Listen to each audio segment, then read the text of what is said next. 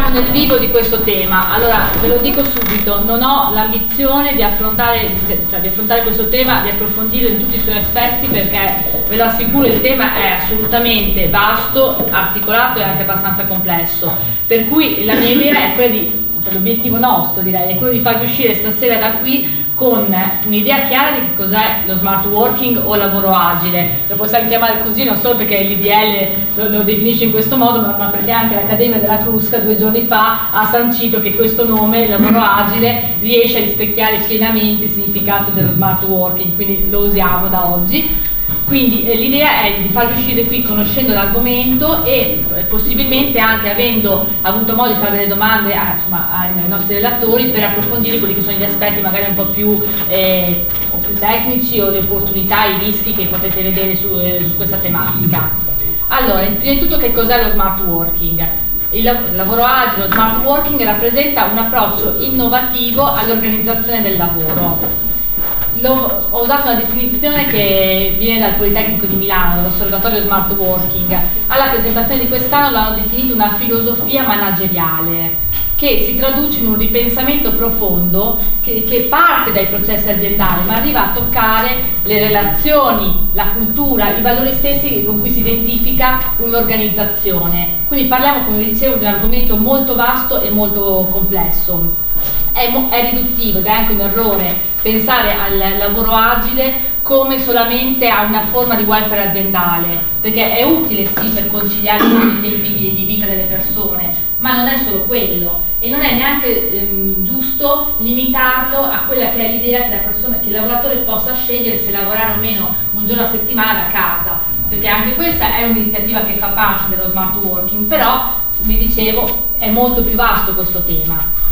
Non esistono ricette universali, per questo l'argomento è complesso. Questo cosa significa? Significa che non esiste un modello che può essere applicato in qualunque tipo di azienda, indipendentemente dal business, dal tipo di attività che questa azienda fa, dalle dimensioni. Ogni azienda deve trovare, deve valutare qual è il modello più adatto alle sue caratteristiche, in particolar modo tenendo conto di quello che è il livello di mobilità delle sue persone e le caratteristiche tecniche delle attività che svolgono ma tutte, in tutte le aziende può essere applicato lo smart working e non solo in tutte le aziende, mi, mi correggo subito perché questo è un, un altro aspetto importante, anche nella pubblica amministrazione. E questa è non, non, proprio una novità, nel senso che alcuni, tipo il comune di Genova già era partito, il comune di Milano ha una sensibilità molto alta e tra pochi giorni, in febbraio, eh, promuove il, per il terzo anno di fila la giornata nazionale del lavoro agile, quindi anche nelle pubbliche amministrazioni questo tema è sentito, però certamente il DDL non solo lo rende un tema implementabile, realizzabile, ma addirittura lo promuove in maniera forte, diventa un obiettivo da raggiungere.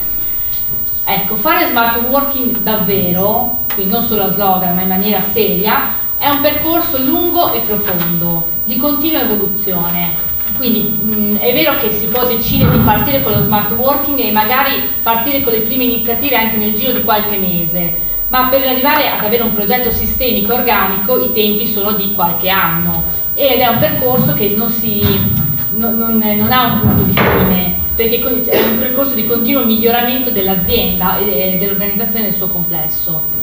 Chiaramente si basa su alcuni elementi, la flessibilità e l'autonomia, in particolar modo nella scelta degli orari e della sede di lavoro e su un, un valore, la fiducia. Si supera l'idea del controllo della, della persona e si va verso un tema di responsabilizzazione e di fiducia quindi cosa, cosa, significa? Significa che quello che dobbiamo promuovere è un profondo cambiamento culturale in quella che è la concezione del lavoro, cioè si passa da quello che è il lavoro a timbratura di cartellino al lavoro per obiettivi. Già in molte aziende, specie le più grandi, si lavora già per obiettivi e, viene, una parte dello stipendio è legata al raggiungimento degli obiettivi. Qui si, ovviamente si rafforza questo concetto non cambia solo, il cambiamento culturale non è solo nella testa del lavoratore, ma nella testa anche di chi gestisce i lavoratori, perché i responsabili devono imparare ovviamente a attribuire dei, dei, degli, degli, obiettivi che siano misurabili e sostenibili e chiaramente a valutare se l'obiettivo è stato o meno raggiunto e quindi quello che va messo in campo ed è l'aspetto vi assicuro più complesso di tutto il tema è un processo di change management in particolar modo di quelli che sono i comportamenti e gli stili manageriali di leadership è qui che sta il, la vera rivoluzione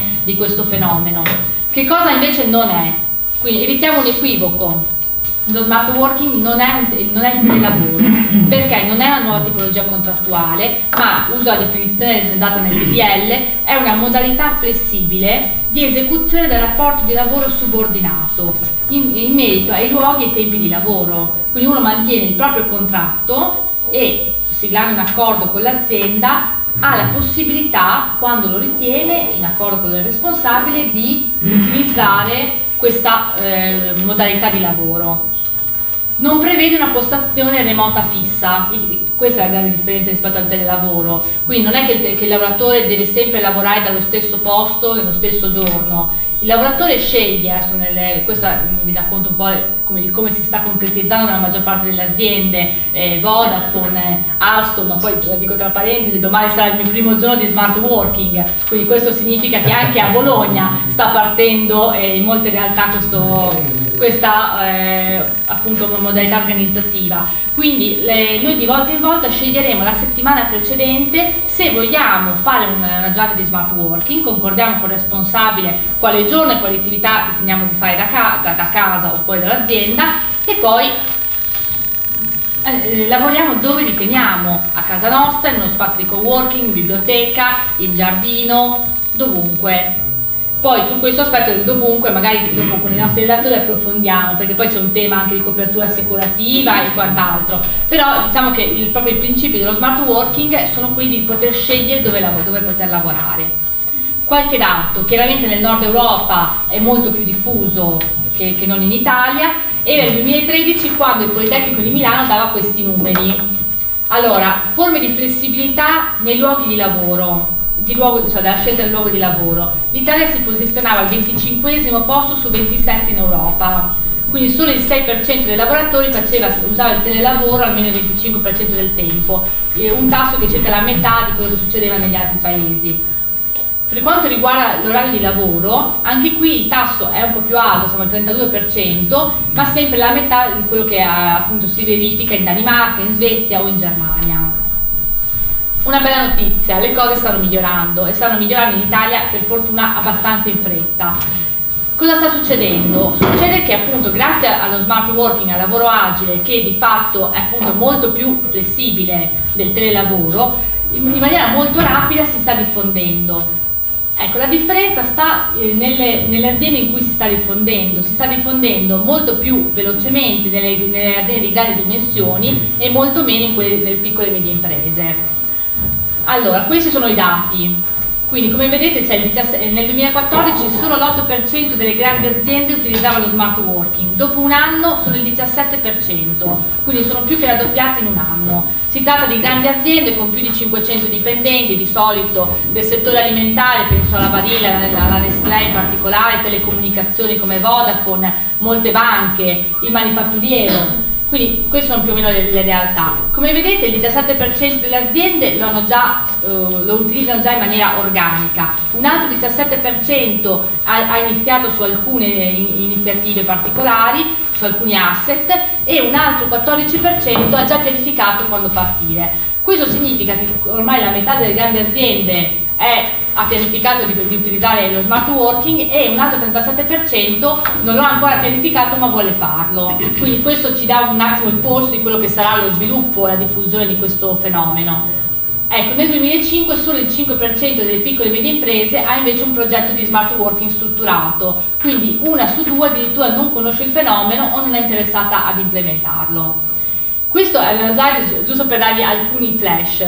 Le leve di progettazione sono tre, quindi le iniziative possono essere organizzate su queste tre leve di progettazione principali. I layout fisici, qua vedete alcuni, alcune fotografie di aziende che già, sono già partite su questo fronte, quindi si supla l'idea dello spazio tradizionale, open space o ufficio singolo, ci sono anche gli open space, ma vengono affiancati da tutta un'altra serie di eh, locali, come vedete, concentration room, eh, luoghi, eh, cabine telefoniche, eh, uffici, info, eh, luoghi informali per fare dei meeting. Questo perché l'obiettivo è quello di consentire ad ogni persona di poter utilizzare degli spazi diversi in base alle esigenze dei vari momenti della giornata.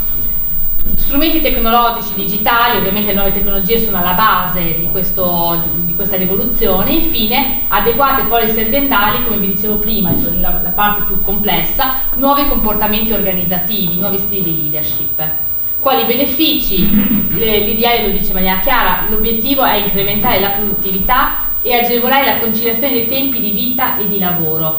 Questo significa, qui ve li elenco, non ve li dico tutti, sono i principali benefici che chi ha già utilizzato lo smart working come azienda ha riscontrato, miglioramento della conciliazione dei tempi di vita, del benessere organizzativo, aumento della motivazione delle persone, maggior coinvolgimento, ma maggior produttività, ma diminuzione dei costi di trasporto e di struttura. Questo si lega anche alla riduzione dell'impatto ambientale, in media nella nostra azienda ci sarà il 20% di macchine che arrivano di mattina e vabbè, una serie di altri benefici. Siamo nell'ottica del win-win, vince sia l'azienda che il, il dipendente che il lavoratore. Ultimo tema, work-life balance, come vi dicevo, si collega strettamente, è un connubio molto forte quello tra smart working e work-life balance, perché si basa sul fatto che cambia l'idea, la concezione della persona nel lavoro, non conta che tu rimanga in ufficio fino alle 11 di sera, conta che tu raggiunga degli obiettivi. Per aumentare la produttività, le aziende si sono rese conto, con una serie di studi, che in particolar modo per la cosiddetta generazione Y, i ragazzi nati dopo il 1980, è quasi più importante rispetto a un aumento di stipendio il fatto di stare bene nella propria azienda, di, essere motivati e soprattutto di poter conciliare impegni extra lavorativi con il loro tempo lavorativo. Questo è il connubio vincente anche per la conciliazione che spesso viene vista come un tema femminile. Perché è più potente di altri eh, strumenti di work-life balance? Perché non si indirizza alle donne in maniera peculiare, ma si indirizza a tutti perché l'esigenza di conciliare i tempi del lavoro con la vita fuori dal lavoro è un'esigenza che è di tutti, degli uomini e delle donne, quindi particolarmente forte. Alcuni casi, vi dicevo prima, Barilla, Tetra Pak, eh, Deutsche Bank, Microsoft, American Express, Unicredit, anche il comune di Genova, perché come vi dicevo prima si sta partendo anche sulla pubblica amministrazione. La normativa, e con questo chiudo, il 28 gennaio scorso, quindi pochi giorni fa, il Consiglio dei Ministri ha approvato il DL sul lavoro agile e ha sanato così un vuoto normativo che aveva anche in qualche modo creato delle difficoltà o comunque messo a, a, rischio le aziende più innovative su questo fronte, che ovviamente si muovevano senza avere un quadro normativo chiaro alle spalle. E questo mi, mi, mi riferisco in particolar modo al tema dell'assicurazione, dell'INA e degli infortuni.